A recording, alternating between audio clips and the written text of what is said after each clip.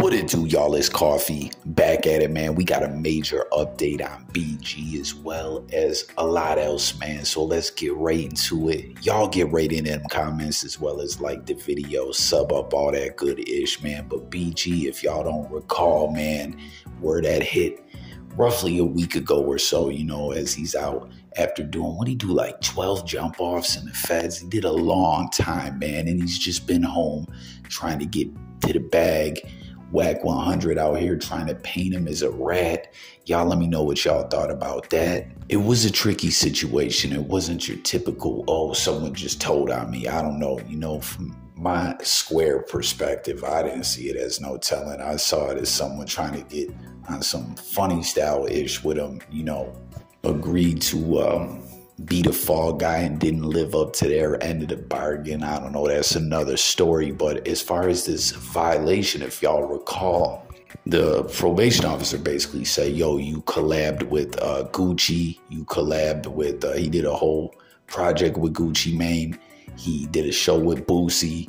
And he's like, "Yo, those are convicted felons. You didn't have express consent." you know, to, to do that. So that's you're in violation of your probation. But he didn't get bagged up right then. It was like a book and release type deal, and he's remained free. So you see, he's trying to keep his spirits up in the midst of all this as he's posting on some Pac type ish. Only God can judge me, me against the world. Um, I don't know what he's rocking there as well. For those who stay up on designer ish, it looks like it says Eminem on the front of the, the clothing. I'm not sure what that is, but he's just on some Pac vibes, trying to stay upbeat and stay free and stay getting the bag. And uh, he goes to court tomorrow. And people, what his lawyer has said in these um, motions he filed and stuff like this, he's saying that that's cap, that they did have permission for him to do this work with Boosie and Gucci. And not only that, that they got it all the way back when he was still in the halfway house when he first came home. So can it be that simple? Can it just be we did have permission? You're saying we didn't? That's cap. We did.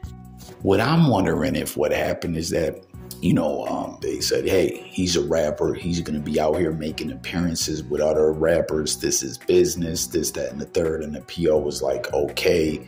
And then later, seeing that, you know, some of these other rappers had a record, were convicted of crimes, and then said, hey, fluck them, let's lock them back up. I don't know, it's a tricky situation, but the big update as uh, the lawyer has filed all the proper paperwork tomorrow, which I'm saying tomorrow, Monday, April 8th. Y'all will probably be hearing this your time zone on Monday. So in the morning, hours from now, he will appear in court to find out what will be the disposition. You know what I'm saying? If he will remain a free man out here chasing a bag, trying to grind and live his best life, or will he get locked back up? He'll find out tomorrow at that federal courthouse. That's just crazy to me, though, that the attorney's like, we did get permission. You know, like I don't know. I don't know how the judge is gonna see this. Like he always says, you didn't have permission. Lawyer says, we did. What the fuck are you talking about? I don't know. But you see, um, in the midst of it all, BG's trying to make the best of it. He's out uh, posting videos, pulling up to church, and I got to keep urging everyone get right with your God, your creator, your spiritual side, whatever, you know what I'm saying? Because everyone has different beliefs. I'm just pointing out it's wild times we're living in, and we got to really think about who we are and what kind of life we've lived and if it's been righteous. And, you know, it's, it's time to get right, in my opinion. Comment if y'all feel me on that. You know what I'm saying? Like about what's going on in this world at this current juncture which CBG posted up, had a wonderful day at church today, as I do every Sunday. They said, when you're on the right track and doing the right thing, the devil be mad and get busier. He gonna keep being mad at me. So I don't know if he's speaking cryptically there about this position that he's in with the probation and everything. You know, I don't know. Comment. Then he also threw up another one saying, It's never been easy being Jeezy. but I'm real. So I make it look that way. I always thrive under pressure and fight harder when my back against the wall. I came too far to give up or lay down. The real gonna keep riding with me, and my haters gonna keep hating on me. I'm here for it all. Come back, kid. RNS, I appreciate you. The support is real. I'm just trying to live my life. So, BG, you know, just trying to continue and push on. He'll have that uh, court date in the morning. What will be the outcome? I don't know. Stay tuned for updates. Then, this is wild, right? Orlando Brown appeared on No Jumper again recently. Now, I don't know about this dude, man. A lot of people say, yo, Coffee, he was a child actor. You know, the wicked, twisted, sick ish that goes on in Hollywood and how a lot of these youth actors, like, they're never the same. They have a horrible life. They're tormented by the things they see and all that. But a lot of people have also pointed out that Orlando Brown has said a lot of things that seem very inconsistent and were cap about certain individuals. Some people say, like, nah, he just, um, you know, he's just wild. He, he ain't all there. He ain't playing with a full deck.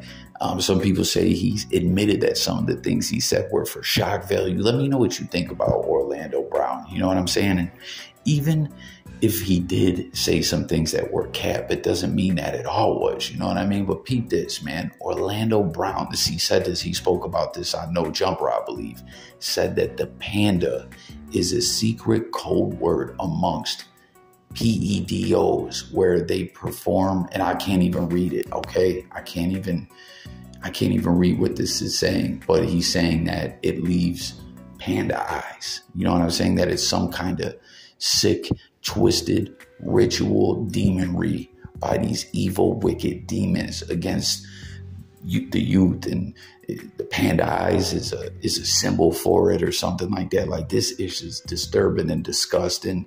Do y'all believe that it is true? And I remember um, with some of the stuff about like another content creator that I used to fluck with Heavy. I don't know whatever happened to him, man. He seemingly disappeared. You know what I'm saying? He used to do a lot of hip hop content, but he would delve into the secret societies and the entertainment industry and things of that nature as well.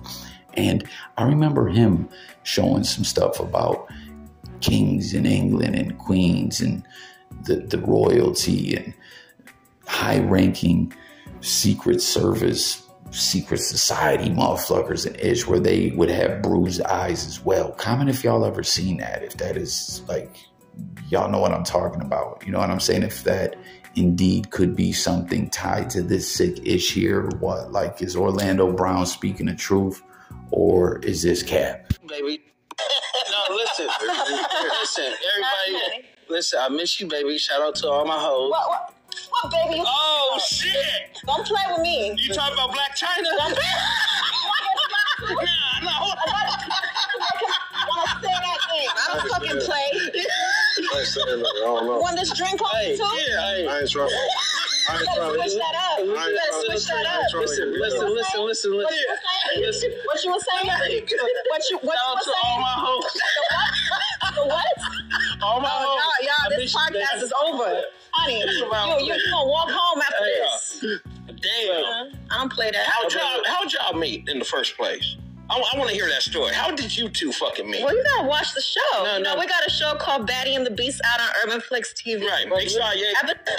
And man, to end it off, did y'all see that Luce Cannon getting the slip, the ish slapped out of him? I'm, I was trying to say the ish slapped out of him. I almost said the slip ashed out of him. I don't even know, man. You know what I'm saying? But getting slapped up, trying to be slick.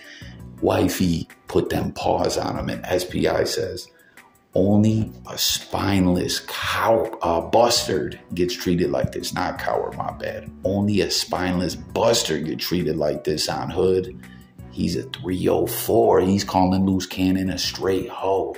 And then you see Black Bandana 3400. He commented and said on the dead homies.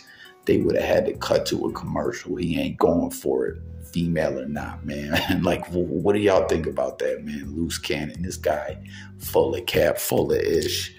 The goofy of the blogosphere and Spider Loc says, yo, he's a straight hoe. What did y'all think about that footage?